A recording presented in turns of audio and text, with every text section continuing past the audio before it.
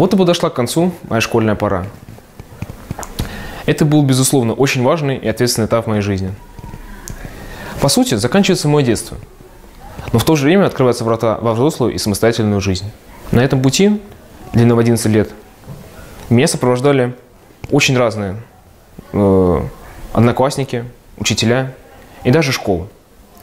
Но особенно помнить и ценить я буду именно эту, вторую школу. За эти шесть лет я много пережил и многому научился.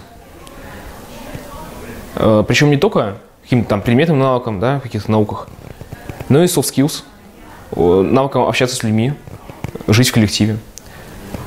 За это, и не только за это, я хочу сказать огромное спасибо моим одноклассникам и учителям.